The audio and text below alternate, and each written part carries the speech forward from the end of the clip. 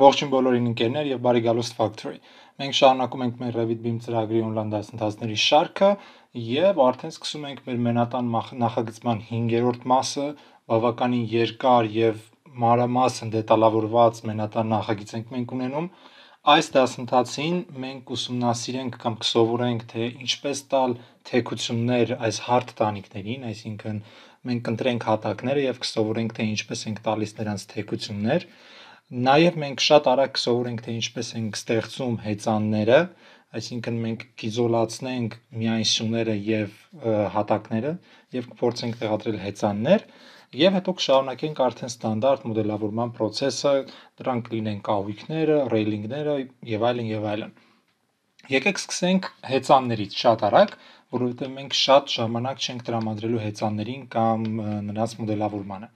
Ինչ ենք անում Տեսեք, ընտրելու եւ ֆիլտրելու մեթոդներից մեկը։ Մեզ պետք են միայն սյուները եւ հատակները, այսինքն ոչ պատուհան, ոչ տուր, ոչ աստիճան։ Վերցնում ենք ամբողջ նախագիծը, ամբողջ մոդելը, գալիս ենք filter, անում ենք check none եւ փնտրում ենք structural column եւ կարող ենք թողնել floors-ները։ Անում ենք apply, տեսեք։ Հիմա ընտրված են միայն այդ էլեմենտները։ Անում ենք hi, այսինքն նրանց իզոլացնում ենք isolate ենք անում։ Ահա այսպես։ Հիմա այստեղ մեզ անհրաժեշտ չեն տերասաները, անում ենք HH, HH, նույն այստեղ, նրանց բոլորին թաքցնում ենք, այսպես։ Սա 3D-ում բայց նույնը մեզ հարկավոր է նաև անել հատակագծերում, չնայած կգնանք հատակագից եւ կհասկանանք հարկավոր է անել թե չէ։ Հիմա տեսեք, հեծանները դուք կարող եք գծել եւ 3D-ում եւ հատակագծում, այսինքն որտեղ ձեզ հարմար է։ Հիմա եկեք գնանք հատակագից, ենթադրենք գնում ենք հարկ 1, այսպես։ Մեր հեծանը պետք է անցնի այստեղով, այսինքն երկու հատ այսպես վերտիկալ եւ մեկ հատ հորիզոնական։ Փորձենք։ Հեծանները գտնվում են structure, այսինքն գնում ենք structure, գնում ենք beam, Եվ երբ որ դուք վերցնեք բիմը, դուք կտեսնեք, որ մենք ունենք մենակ մետաղյա։ Մեզ պետք են բետոնե հեծանները։ Գնում ենք load family, English Imperial-ից գնում ենք սովորական English, իջնում ենք, փնտրում ենք structural framing։ Եթե չեմ սխալվում, գալիս ենք concrete, տեսնում ենք, ահա այս սրանք են։ Մեզ հարկավոր է սովորական rectangular beam-ը։ Անում ենք open։ Շատ լավ։ Հիմա մենք արդեն կարող ենք գծել միանգամից մեր հեծանը, բայց մեզ պետք է նաև ճշտել այս չափերը։ Մենք հիմա գիտենք, որ հաստությունը 350 է, մենք կարող ենք անել ստանդարտ 350-350, որովհետև ինչպես նշել էի, մենք հեծանների վրա շատ ժամանակ չենք ծախսում։ Գալիս ենք հեծան անում ենք duplicate 350-350 mm, այստեղ ուղղակի շատ արագ փոխում ենք հաստությունն ու բարձրությունը, մենք OK, շատ լավ, հիմա պատրաստ ենք գծելուն։ Հիմա մեր դեպքում մենք տեղադրում ենք ոչ թե հարկ 1-ում, այլ մենք պետք է տեղադրենք հարկ 2-ում։ Փոխում ենք դնում ենք հարկ 2, տեսեք։ Եվ ուղակի եկեք այս սյունը միացնենք այս երկրորդի հետ։ Շատ լավ է, ճիշտ է, մենք դեռ չենք տեսնում մեր հեծանը, բայց նա գծվել է։ Գնում ենք 3D, տեսնում ենք, ահա այստեղ է մեր հեծանը ճիշտ դիրքում չէ, այսինքն մենք նրան պետք է իջացնենք։ Հիմա տեսեք, ինչու ես հարկ 1-ում չտեսա իմ հեծան, կամ եկեք հասկանանք, թե ինչու շատ դեպքերում դուք տեղադրում եք էլեմենտներ, բայց դուք նրանց չեք տեսնում։ Տեսեք, շատ լավ օրինակ է եւ հեծանը, եւ այստեղ մենք հիշում եք ունենք ավտոտնակի պատուհան, որը գտնվում է հարկ 1-ում, բայց մենք նրան չենք տեսնում հարկ 1-ում։ Եթե գնամ 3D, նա այստեղ պետք է լինի հետ ենք վերադառնում հարկ 1։ Բացի underlay-ից, որի մասին մենք խոսում էինք նախորդ դասընթացում, Revit-ում գոյություն ունի view range հասկացությունը, որով դուք ավելի դետալավորված կառավարում եք ձեր հարկերի տեսանելիությունը։ Գնում ենք edit, անում ենք show, չեմ կարող մեծացնել այս պատուհանը, բայց եկեք հասկանանք ինչ եք դուք կարողանում կառավարել view range-ից։ Առաջինը դուք տեսնում եք top։ Մենք ունենք cut plane, ունենք bottom եւ ունենք view depth։ Հիմա top-ը դա այն հարկի top-ն է, որտեղ դուք գտնվում եք։ Հիմա եթե ես հարկ 1-ում եկել եմ մտել եմ view range edit, նշանակում է ես փոփոխում եմ այս ամենը միայն հարկ 1-ի համար։ Տեսեք, հարկ 1-ը դրված է top associated level հարկ 1 եւ դրված է offset 2300։ Այսինքն top-ով դուք կառավարում եք, թե ինչքան այս առանցքը, որ դուք տեսնում եք, վերև կամ ներքև է։ Դուք ուզում եք տեսնել առաստաղից սկսած, թե դուք ուզում եք տեսնել առաստաղից ներքև։ Այդպես դուք կառավարում եք ձեր top offset-ը, ձեր top-ը։ Cut plane-ը դա այն հարթությունն է կամ այն առանցքն է, որը կտրում է ձեր մոդելը, ձեր հարկը։ Հիմա տեսեք, cut plane-ը դրված է associated level հարկ 1 եւ offset-ը դրված է 1200։ Նշանակում է, որ ձեր cut plane-ը աշխատում է ձեր հարկ level-ից, այսինքն դա աշխատում է ձեր հարկ 1-ից, 0-ից, ներքևից 1200 վերև։ Դրա համար մենք կարողանում ենք տեսնել այս պատուհանները։ Եկեք անենք մի հատ շատ արագ էքսպերիմենտ։ Հիմա դրված է 1200։ Եկեք փոխենք եւ դնենք այն 2000։ Անում եմ apply։ Տեսեք։ Նկատեցիք այս պատուհանը մի անգամից սկսեց երևալ։ Վերադարձնում եմ նորից. 1200 apply տեսեք։ Նույնը պետք է որ կատարվի ավտոտնակի պատուհանի հետ։ Եթե ես այն դնեմ 2000, տեսեք, պատուհանը երևաց, որովհետև cut plane-ը սկսեց կտրել ձեր պատուհանը։ Դրա համար դուք կարողանում եք տեսնել պատուհանը։ Եթե ես դնեմ այն 2000-ից ավելի շատ, օրինակ հենց 2300, տեսեք, ես չեմ կարողանում տեսնել այս պատուհանը այստեղ։ Այս մեկն էլ, այս մեկն էլ։ Ես դեռ տեսնում եմ այս մեկը, որովհետև սա ամենամեծ պատուհանն է, որը մենք ունենք։ Շատ լավ վերադարձնում ենք 1200, անում ենք apply, եւ նույնը վերաբերվում է բոլոր պատերին, կահույքներին, դռներին, բոլոր էլեմենտներին։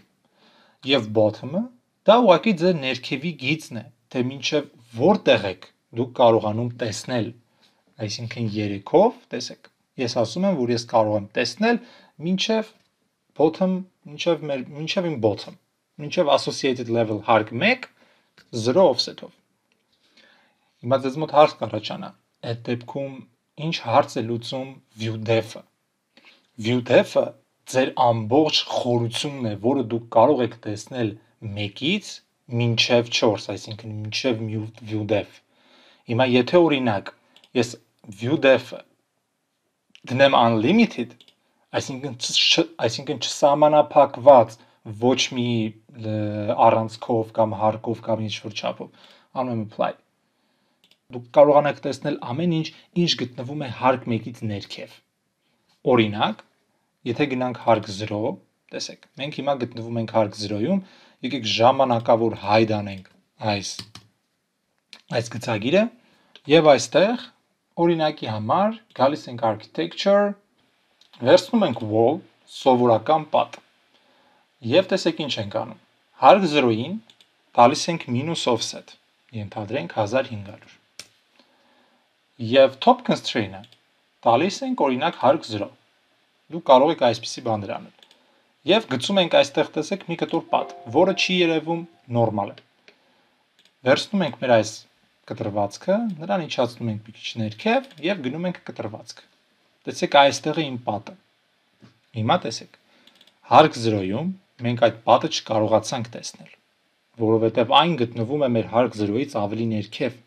եւ իմ հարկ 0-ի view range-ը դրված է այնպես, որ ես չեմ կարող տեսնել հարկ 0-ից ներքև։ Բայց եթե ես գնամ հիմա հարկ 1, գալիս ենք view range, տեսեք, մեզ մոտ դրված է view depth-ը unlimited։ Այսինքն ես կարող եմ տեսնել ներքև անverջ ուղակի։ Անում եմ cancel, վերցնում եմ այս հարկը կամ slab-ը, անում եմ hide ու տեսեք ես տեսնում եմ այն ներքևի մեկ կտոր պատը։ Քանի որ ես view depth-ը դրել եմ unlimited, այսինքն ես կարող եմ անverջ նայել ներքև։ Հիմա եթե ստուգելու համար գալիս ենք view range, տեսեք, unlimited-ը նորից դնում ենք հարկ 1, այսինքն մեր ներքևի գիծը դա հարկ 1-ն է։ Անում եմ apply, տեսեք, ես այլ պատը չեմ տեսնի։ Ահա այսպես եք դուք կարողանում կառավարել ձեր հարկերի միջև եղած տեսանելիությունը։ Երբ որ չի երևում ինչ որ պատուհան կամ դուռ կամ ինչ որ կտրվածք, որը դուք ուզում եք, նշանակում է դա ձեր view depth-ի խնդիրն է։ Դուք պետք է ճիշտ կառուցեք ձեր view depth-ը։ Վերջի տիպը պետք է հիշեք, որ անպայման, անպայման ձեր view depth-ը կամ պետք է հավասար լինի կամ bot ձեր bottom-ին, կամ պետք է լինի ձեր bottom-ից ներքև։ Ձեր view depth-ը չի կարող ավելի բարձր լինել, քան ձեր bottom-ը։ Եթե ես հիմա օրինակ փորձեմ անել, չգիտեմ, 1500, տեսեք, անեմ apply, ինձ Revit-ը դա թույլ չի տա։ Եվ նույնը հակառակը, ձեր bottom-ը չի կարող ավելի ներքև լինել, քան ձեր view depth-ը։ Եթե ես անեմ այստեղ -1500, տեսեք, նույն խնդիրը։ Այսինքն, որpեսզի դուք ուզում եք իջացնեք ձեր bottom-ը, դուք նախ պետք է իջացնեք ձեր view depth-ը, հետո նոր bottom-ը։ Եթե կլինեն հարցեր view range-ի հետ կապված, ես գիտեմ view range-ը կարող է մի քիչ ավելի բարդ լինել օգտագործելու, դուք կարող եք մոռանալ, որ կա այսպիսի խնդիր Revit-ում, որ տեսանելիությունը կառավարվում է ոչ միայն underlay-ի, բայց նաև view range-ի օգնությամբ, այնպես որ եթե լինեն ինչ-որ հարցեր կամ միտեղ դուք դժվարանում եք, անպայման գրեք, ես մեծ հաճույքով կպատասխանեմ։ Հիմա եկեք դնենք հարկ 1, հարկ 1, offset-ը ուղղենք 0, apply, okay Շատ լավ, մենք հասկացանք, եկեք գնանք 3D այս պատը ստեղից ջնջենք, մեզ սա անհրաժեշտ չի։ Հարկ 1։ Հաջորդը Լավ, հասկացանք, որ մենք կարողանում ենք կառավարել ամբողջությամբ հարկի տեսանելիությունը, բայց ինչ կարող ենք անել այն դեպքում, երբ որ մենք ունենք, տեսեք, այս հիմնական մեր cut line-ը, cut plane-ը, որը մենք օգտագործում ենք մեր մոդելի համար, երևում են բոլոր հիմնական պատուհանները, բայց ես ուզում եմ այդ view range-ը օգտագործել կոնկրետ ինչ-որ կտորների համար, օրինակ ցույց տալու համար այս պատուհանը, ցույց տալու համար ավտոտնակի պատուհանը, բայց չխախտելով ամբողջ cut plane-ը։ Տեսեք, գնում ենք view, գնում ենք plan views, եւ այստեղ դուք ունեք այս plan region հասկացությունը վերցնում ենք plan region եւ դուք պետք է գծեք այն կտորը, որը դուք ուզում եք փոխել նրա view range-ը։ Մենք ուզում ենք փոխել այստեղ ինչ-որ մի կտոր։ Շատ լավ։ Գնում ենք view range եւ edit եւ հիմա տեսեք ինչ ենք անում։ Cut plane-ը ուղակի բարձրացնում ենք դնում ենք 2000։ Անում ենք apply, okay, finish եւ տեսեք։ Սա է մեր պատուհանը, որը մենք հիմա երևում է։ Հիմա կարող ենք մենք այս սլաքով ուղակի փոքրացնել այս view plan-ի կտորը եւ տեսեք ինչ ենք անում։ Անում ենք copy եւ ուղակի սա տեղադրում ենք ահա այստեղ մեր պատուհանը ես կոնկրետ տեղը չեմ հիշում, հիմա կգտնենք, մեծացնենք, այ սա է մեր պատուհանը։ Եվ թողնում ենք այսպես։ Ահա այսպես կտոր-կտոր կամ մաս-մաս դուք կարող եք փոփոխել ձեր cut plane-ի բարձրությունը եւ դարձնել ոչ տեսանելի պատուհանները կամ family-ները տեսանելի։ Շատ լավ։ Վերադառնանք մեր հեծաններին։ Հիմա նույն խնդիրը այստեղ է, այսինքն մենք չենք տեսնում առաջի հարկում մեր հեծանները, քանի որ նրանք cut plane-ից ավելի բարձր են։ Եթե հիմա գնանք 3D, Տեսեք, մենք ունենք մեր հեծանը այստեղ արդեն ստեղծված։ Բայց մեր հեծանը մենք հիմա պետք է իջեցնենք մի քիչ ավելի ներքև, որովհետև այսպես սխալ է։ Եկեք գնանք section 2, տեսնենք section 2-ում մեր հեծանը ահա այստեղ է։ Ինչ պետք է անենք, դրան պետք է իջեցնենք, եկեք անենք DI 100 մմ-ով։ Շատ լավ։ Գնանք 3D, որպեսզի ավելի տեսանելի լինի։ Վերցնում ենք հեծանը, Constraint-ների մեջ դուք կարող եք տեսնել, որ մենք ունենք start level offset եւ end level offset։ Այսինքն տեսնում եք այս 0000։ Դուք կարողանում եք նրա սկիզբը եւ վերջը առանձին կառավարել։ Դրանով դուք կարող եք ստանալ թեք հեծաններ։ Բայց եթե դուք ուզում եք ամբողջությամբ հեծանը իջեցնել, կարծես եք z offset value ենթադրենք դնում ենք -100։ Եվ վերջ, մեր հեծանը իջավ ավելի ներքև։ Համոզված լինելու համար, որ ձեր հեծանը միացել է ձեր օրինակ հատակի հետ, անում եք join 1 2 վերջ։ Գնում ենք section, տեսեք։ Բայց այս դեպքում մեզ պետք է section այս ուղությամբ, տեսեք։ Վերցնում ենք մեր section-ը, տեղափոխենք այստեղ, գնանք կտրվածք, տեսեք։ Միացումը կատարվել է իդեալական։ Հիմա եթե ես գնամ նորից հարկ 1, ամենայն հավանականությամբ տեսեք, ես չեմ տեսնում հեծանը, որովհետև դեռ հեծանը գտնվում է ավելի վերև, քան իմ cut plane-ն է։ Դրա համար ես չեմ կարողանում այն տեսնել։ Նա չի կտրվում, ու ես նա դրան չեմ տեսնում որpիսի դուք կարողանաք տեսնել ձեր հեծանները ձեր հատակագծերում տարբերակներից մեկը այն է, որ դուք դուպլիկետ եք անում ձեր տեսքը, որի մեզ որի մասին մենք դեռ կխոսենք ավելի մանրամասն, եւ այդ դուպլիկետ արված տեսքում դուք փոխում եք view range-ը, որը հատուկ նախատեսված է նրա համար, որ դուք տեսնեք ձեր հեծանները։ Դա կարող է լինել տարբերակներից մեկն է։ Կամ եթե ձեր հեծանները չեն երևում, եւ դուք համոզված եք, որ դա view range-ի խնդիրը չէ, դուք կարող դուք կարող եք անել VG, այսինքն visibility in graphics, այստեղ եւ իջնել տեսնել եկեք գտնենք structural framing։ Տեսեք, մենք նայում ենք, տեսնում ենք, որ structural framing-ը միացված է։ Այսինքն մեր հեծանները պետք է Երևան։ Դուք կարող եք փորձել միացնել այս location lines-ը, անել apply Տեսեք, անգամ այդ դեպքում հեծանը չի երևում առաջի հարկում։ Այսինքն միակ խնդիրը այս դեպքում դա view range-ն է։ Գնանք 3D, որովհետև մեր հեծանները այստեղ շատ նորմալ երևում են։ Հիմա տեսեք ինչ ենք անում։ Վերցնում ենք մեր հեծանը, անում ենք copy to clipboard եւ նրան ուղարկում ենք տանիք։ Մենք OK։ Եթե անեք WF, դուք կտեսնեք, որ ձեր հեծանը հիմա գտնվում է այստեղ։ Պետք է ճշտենք նրա բարձրությունը։ Գնում ենք section 1 տեսնում եք մեր crop view-ն, բարձրացնում ենք մեր crop view-ն այնքան, մինչև տեսնենք, տեսեք հայ հեծանը, եւ մեր հեծանը մենք հիմա պետք է իջեցնենք, հավասարացնենք մեր բետոնի մակարդակին։ Դրա համար կարող ենք գալ, վերցնել մեր հեծանը, դուք կարող եք փորձել նաեւ դա անել move-ով։ Անում ենք move, վերցնում ենք մեր հեծանը, shift-ը պահում ենք եւ հավասարեցնում ենք մեր բետոնին որից հետո անում ենք join։ 1 2 վերջ։ Գնում ենք 3D, տեսեք։ HL այսպես։ Այսպես դուք կարող եք լուծել ձեր հեծանների հարցը։ Join այսպես միացնում ենք սյուները հատակներին։ Սա շատ արագ օրինակ, թե դուք ինչպես կարող եք ստեղծել ձեր հեծանները։ Բնականաբար, երբ որ դուք կաշխատեք առանձին հենց structural մոդելի վրա, բնականաբար այնտեղ արդեն կարելի ասել Revit-ի structural բաժինը դա լրիվ առանձին գիտություն է։ Այնտեղ արդեն պետք է դուք խորանաք նաև ամրանների մեջ, ճիշտ միացումները սյունների, հեծանների, նաև երկաթե սյունների հեծանների եւ այլն, բայց սովորական ճարտարապետական մոդելի համար այսպիսի մոտեցումը լրիվ բավական է։ Այսինքն դուք կարող եք ի սկզբանե շատ արագ ստեղծել սյուները եւ հեծանները, որոնք որ ձեզ անհրաժեշտ են, եւ դրանից հետո արդեն շարունակեք սովորական մոդելավորումը։ Հիմա այսքանը մենք արդեն չենք խորանա մյուս հեծանների մոդելավորման վրա, քանի որ մենք հասկացանք կոնցեպտը։ Եթե կլինեն խնդիրներ, հարցեր հեծանների վերաբերյալ, անպայման գրեք, ես կփորձեմ բոլորին պատասխանել։ Հիմա եկեք շարունակենք եւ հասկանանք, թե ինչպես ենք թեկություն տալիս մեր տանիքներին hard տանիքներին։ Տեսեք, եթե դուք վերցնեք ձեր floor-ը, մենք ունենք այսպիսի մի հրաման այստեղ, կոչվում է modify sub elements։ Կարող եք տալ modify sub elements եւ ընտրելով գիծը կամ կետը դուք կարող եք փոփոխել նրա բարձրությունը,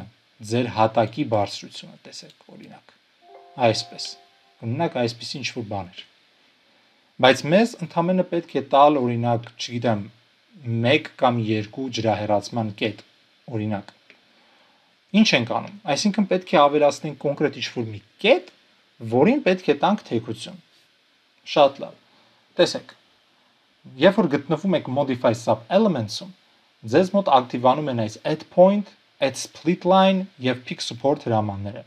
Մենք կետի համար, կետ ավելացնելու համար բնականաբար օգտագործում ենք add point-ը։ Շատ լավ։ Մինչև այդ point ավելացնելը եկեք հասկանանք, թե որտեղ պետք է լինի այս ջրահեռացման տեղը, կենտրոնը կարելի ասել։ Կամ ոնց դու կարող ես կոնկրել այս կետը վերցնել եւ դնել ինչ որ նշված տեղ, ինչ որ գծի վրա կամ ինչ որ կետի վրա, որը դուք ուզում եք։ Դրա համար եկեք գնանք տանիք։ Տեսեք, մենք հիմա գտնվում ենք տանիքում, մենք կարող ենք ընտրել մեր floor-ը, կարող ենք անել WF։ Անում ենք WF, եկեք անենք underlay դեպի հարկ 1 եւ տանք, որ նայում ենք հարկ 2։ Սա դնենք տանիք, այսպես։ Ամենայն հավանականությամբ տեսեք, այս կտորը ջրահեռացման ինչ-որ խողովակի համար է նախատեսված, կամ կամ օթափողության, կամ կամ կոյուղու ինչ-որ խողովակների համար, կարևոր չէ։ Կարևորն այն է, որ մենք կարող ենք սա օգտագործել որպես մեր տանիքի ջրահեռացման կետ։ Եվ հիմա ինչ կարող ենք անել, տեսեք, մենք կարող ենք վերադառնալ HL վիճակ, ընտրել մեր հատակը, անել modify sub elements, անել WF, որպեսզի հայտնվենք գծային տարբերակում, անենք add point եւ տեսեք, մենք ավելացնում ենք այստեղ մի կետ։ Բայց խնդիրը տեսեք ինչու՞ն է։ Երբ որ դուք փորձում եք անգամ AutoCAD-ի գծագիրի վրա տեղադրել այս կետը, որպես snap AutoCAD-ի գծագիրը չի աշխատում։ Այսինքն մեզ պետք է Revit-ի գիծ, որը կաշխատի որպես reference այս կետի համար։ Ինչ ենք անում։ Գնում ենք architecture, վերցնում ենք model line, գծում ենք այսպեսի ինչ-որ մի հատ գիծ, որպեսզի իմանանք կենտրոն այստեղ է Նորից անում ենք HL, ընտրում ենք մեր հատակը, անում ենք modify sub elements, WF, վերցնում ենք add point, click եւ վերջ։ Մենք նշանակեցինք կոնկրետ այստեղը։ Գնում ենք 3D։ Հիմա կետը նշելուց հետո բնականաբար մենք պետք է հիմա տանք նրան այդ թեկությունը։ Թեկությունը այս դեպքում դուք ոչ թե տալիս եք տոկոսներով, այլ միլիմետրերով։ Հիմա եթե ես գամ, ասեմ Ահ, կներեք, ես տվեցի այստեղ -40, ես տամ -10, տեսեք, եւ անեմ OK unjoin elements։ Ոչ մի խնդիր չկա։ Ես կունենամ այսպիսի մի թեկություն։ Շատ լավ, մենք դրեցինք թեկությունը, բայց ո՞նց հասկանանք, արդյոք մենք շատ չենք դրել այս թեկությունը, թե չէ, քանի որ մենք հիմնականում տանիքների թեկությունները չափագրում ենք տոկոսով։ Այդ դեպքում անում ենք DI, վերցնում ենք spot slope Եվ տեսեք, տեղադրում ենք 1, 2, 3։ Մենք հիմա տեսնում ենք no slope, որովհետև Revit-ը մտածում է կամ կարծում է, որ թեկությունը այնքան չնչին է, որ ես չեմ կարողանում հաշվարկել այդ թեկությունը։ Ինչ կարող ենք մենք անել դա ստուգելու համար։ Քանի որ մենք համոզված ենք, որ թեկություն կա, մենք ուղղակի վերցնում ենք չափագրությունը, անում ենք edit type եւ տեսնում ենք units format-ը։ Գալիս ենք units format եւ rise-ը փոխում ենք դնում ենք percentage 0 decimal places-ը դնում ենք 2 եւ symbol կարող ենք դնել տոկոսի նշանը. Անում ենք okay անում ենք apply okay դեռ ոչ մի բան. Շատ լավ, ուրեմն վերցնում ենք մեր հատակը, անում ենք modify sub elements, ընտրում ենք կետը եւ ասում ենք -20։ Տեսեք, միանգամից թեկությունները սկսեցին երևալ։ Բայց հիմնականում թեկությունները պետք է լինի պետք է լինեն 1-ից 3% մենք կարող ենք փորձել -50 եւ մի քիչ էլ ավելի ներքև -70 օրինակ տեսեք մենք ունենք արդեն 1.04 որը բավական է արդեն այսինքն մնացած բոլոր ուղություններով թե դուք ինչպես նայեք կառավարեք այս թեկությունների քանակը լրիվ ձեր վրա է բայց ահա այսպես դուք կարող եք թեկություն տալ ձեր հարթ տանիքներին հիմա գանք այս գիծը ջնջենք որովհետեւ այն մեզ էլ անհրաժեշտ չի Մենք ունենք նաև մեր թեկությունները, շատ լավ։ Հիմա գնանք մի հատ կտրվածք։ Գնում ենք section 2 կամ եկեք section 1։ Տեսեք, տեսեք ինչպես է աշխատում կտրվածքը։ Այսինքն բոլոր շերտերը սկսել են թեքվել։ Բայց, բայց շատ կարևոր այստեղ հասկանալ, որ հարթ տանիքների մեջ ոչ բոլոր շերտներն են, որ պետք է թեքվեն։ Բնականաբար բետոնե շերտը չպետք է նա թեկություն ստանա։ Բետոնի շերտը պետք է լինի ուղիղ։ Մնացած շերտերն են, որ կարող են ունենալ այդ թեկությունը։ Ինչ ենք անում։ Վերցնում ենք մեր հատակը, գնում ենք edit type, գնում ենք edit, տեսնում եք այս variable-ը, որ մենք ունենք այստեղ։ Մենք ունենք դասընթաց, երբ որ շատ մանրամասն մենք խոսել ենք այս շերտերի վերաբերյալ։ Գալիս ենք եւ variable-ը տալիս ենք substrate։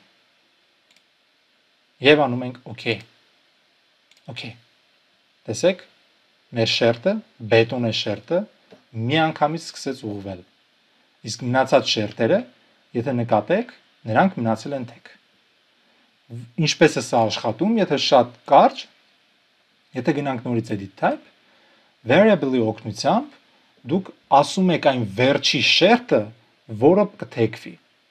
Եվ variable-ից հետո եկող շերտերը նրանք էլ չեն թեքվի, նրանք թեքություն չեն ստանա։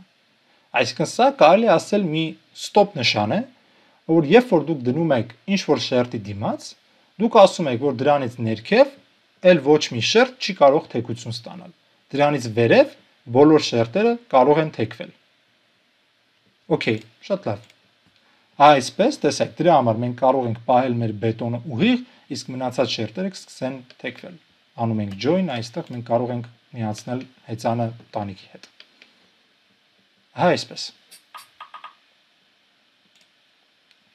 Գնում ենք 3D եւ նույնը շատ արագ կարող ենք անել այս մեկի համար։ Ինչ կարող ենք անել, վերցնել modify sub elements, այս մեկի համար կարող ենք այդքան երկար տեղման չգալ, մենք կարող ենք ուղղակի վերցնել add point, այսպես ինչ որ մի կետ տալ այստեղ, գալ 3D, մենք արդեն 3D-ում ենք, նորից վերցնել modify sub elements եւ տալիս ենք -70, եթե չեմ սխալվում, այսպես։ Բայց նույնը անում եմ նաեւ այս floor-ի համար։ Գնում եմ edit type, գալիս եմ edit, դնում եմ variable-ը ստեղ, անում եմ OK եւ OK։ Ես հիմա համոզված եմ, որ իմ ավտոտնակի տանիքը նույնպես չի շեղվել։ Չնայած այս կտրվածքում մենք այն չենք տեսնում, մենք կարող ենք այն տեսնել այսպես։ Վերցնում ենք կտրվածքը, շարժում ենք վերև,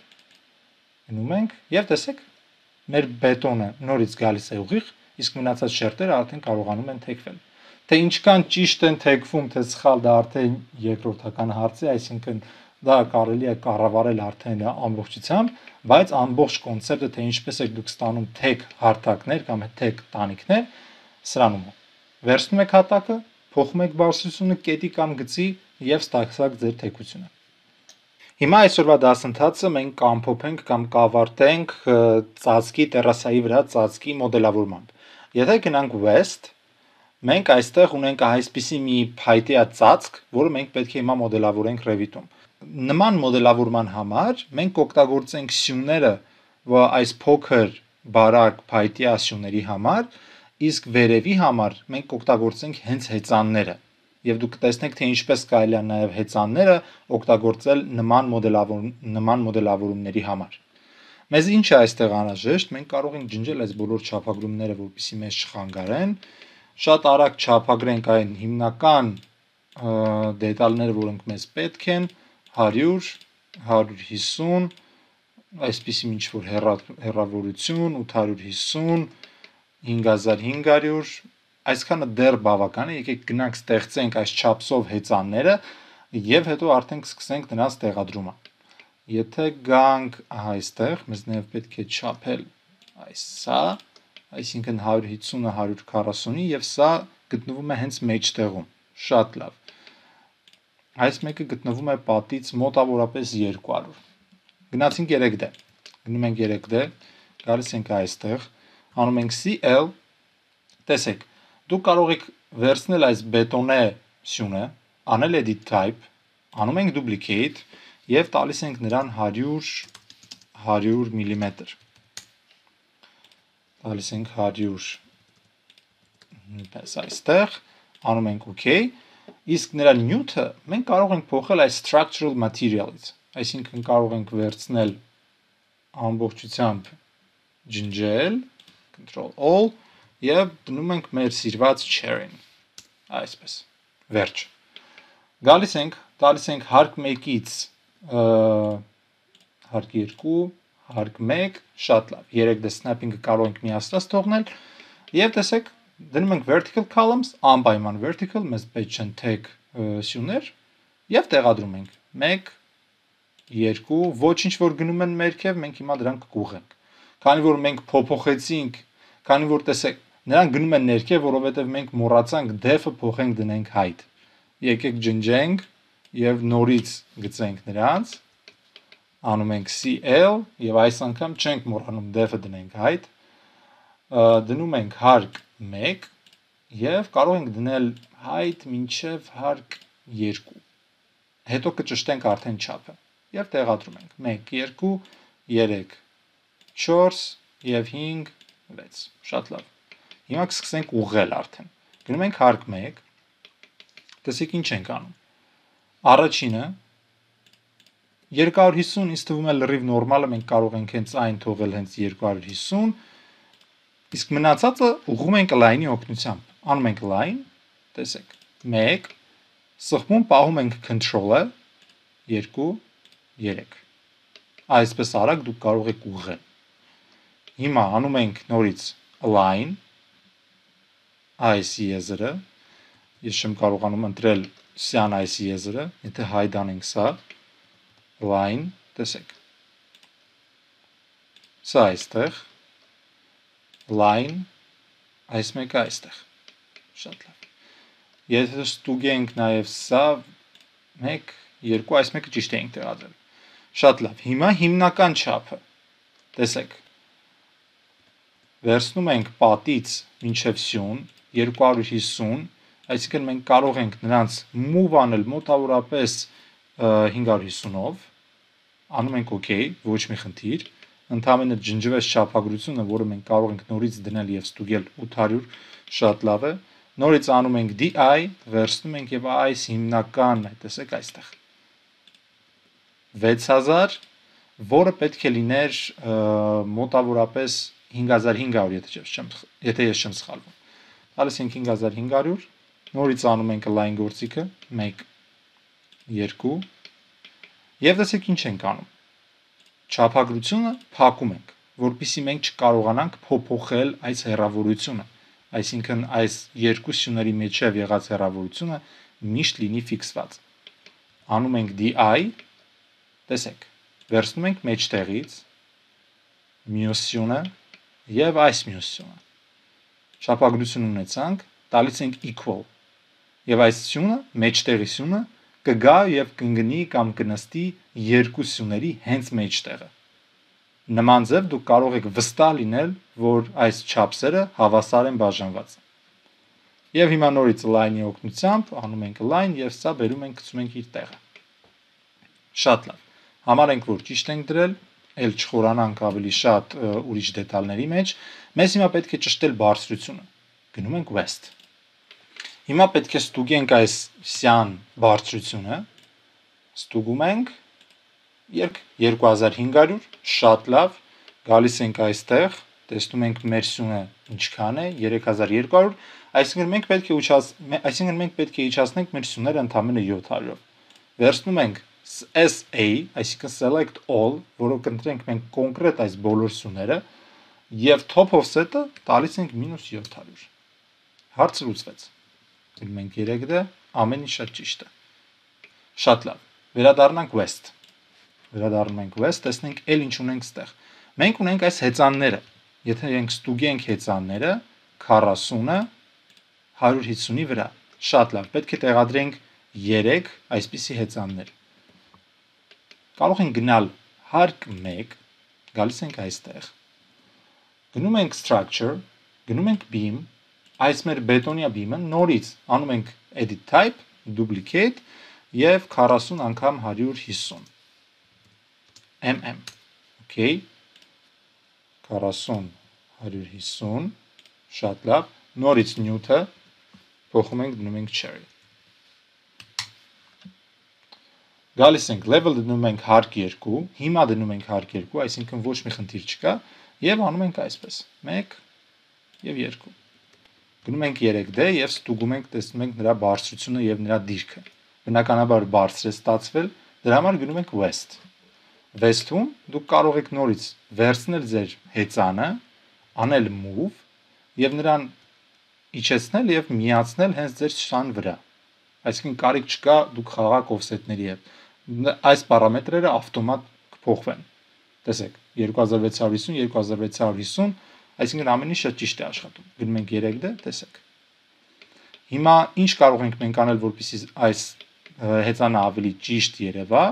Մենք կարող ենք գալ, վերցնել այս կետը, շարունակել մինչև այն հապվի ենթադրենք պատին։ Իսկ այս մեկը մինչև տերասայի սկիզբը։ Անում ենք copy, ուշադիր եղեք, մենք դեռ 3D-ում ենք, այսինքն մենք ուղակի եկել ենք 3D, top եւ աշխատում ենք top-ից։ Անում ենք multiple եւ ուղղակի անում ենք copy։ Բերում ենք մեջտեղ, շատ լավ, բերում ենք մեջտեղ, շատ լավ։ Գնում ենք 3D, այսինքն պատտվում ենք, տեսեք, ամեն ինչ իդեալական է նստել։ Եվ մեզ մնում է ավելացնել հենց ինքը իրանով ծածկը, վերջի, այսինքն վերջի այդ շերտը։ Եթե գնամ vest, գծագրում մենք տեսեք, ունենք այս վերջինը եւ եթե գնամ soft օրինակի համար տեսեք 1 2 3 այսինքն մենք կարող ենք հաշվել թե քանի հեծան ունենք եւ մոտավորապես դնել այդպիսի հեծաններ հիմա տեսեք երկու տարբերակ թե դուք ոնց կարող եք ստեղծել նման կրկնվող էլեմենտներ այսինքն մենք ունենք այս հեծանները որոնք նույն չափի են եւ նրանք բաժանված են հավասար չափով, այսինքն նրանց միջև եղած տարածությունը հավասար է 200, 200 եւ այլն։ Հիմա տարբերակներից մեկը այն է, որ մենք ստեղծում ենք կամ տեղադրում ենք հեծաններից մեկը եւ անում ենք array։ Եթե շատ արագ ցույց տամ թե դա ոնց է աշխատելու, գալիս եմ 3D։ Տեսեք, կամ եկեք գնանք հարկ 1։ Վերցնում եմ հեծանը վերցնում եմ հենց մեր այս նույն հեծանը, որը մեզ անհրաժեշտ է։ Եվ այսպես գծում եմ մի երկար գիծ։ Օրինակ։ Օ, ես նկատեցի, որ մեզ մոտ շեղված է այս մի սյունը, դրա համար մենք կարող ենք line-ի օգնությամբ նրան ճիշտ տեղը գծել, այսպես։ Գնում ենք 3D, տեսեք։ Գնում եմ back, վերցնում եմ եւ հեծանը տեղադրում եմ ճիշտ այստեղ Հիմա օգտագործում եմ array գործիքը։ Գնում եմ modify եւ գտնում եմ այստեղ array հրամանը։ Array։ Մենք ուսումնասիրել ենք array-ը, այնպես որ մենք շատ ժամանակ չենք ծախսի array-ի վրա։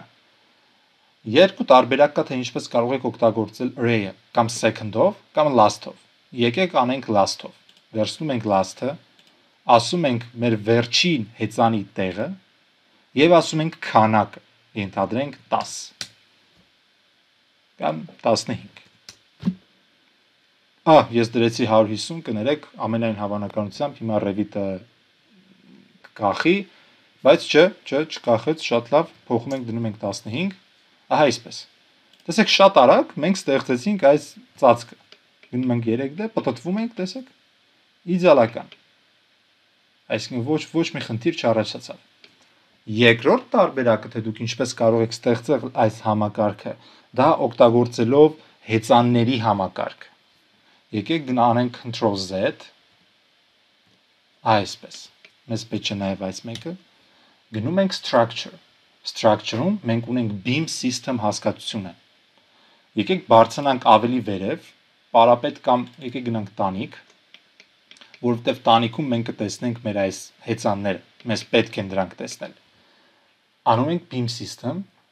վերցնում ենք եւ գծում ենք ամբողջ այդ շրջանակը, որտեղ պետք է տեղադրվեն մեր հեծանները։ Տեսեք։ այստեղից մինչև այստեղ։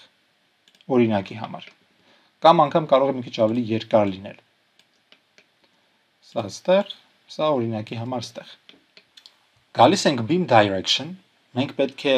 ցույց տանք, թե որ ուղությամբ մենք պետք է տեղադրենք մեր հեծանները։ Տալիս ենք beam direction,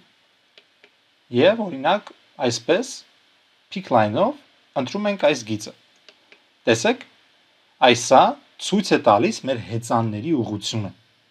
Հիմա մեզ նաև պետք է Revit-ին ասել մեր հեծանների քանակը կամ օրինակ հեծանների միջև եղած հեռավորությունը։ Թե չէ, եթե ես հիմա անեմ finish, նա կտեղադրի ընդամենը 1 հեծան by default։ Դրա համար մենք պետք է տանք բոլոր այդ պարամետրերը թե դուք ինչպես եք կամ քանի հատ հեծան եք ուզում տեղադրել, անում ենք Ctrl Z։ Տեսեք, մենք ունենք այստեղ justification հասկացությունը։ Այսինքն Revit-ը կսկսի տեղադրել ձեր հեծանները սկսած կենտրոնից, հետո կսկսի հավասար կամ ըստ ձեր պարամետրերի բաժանել։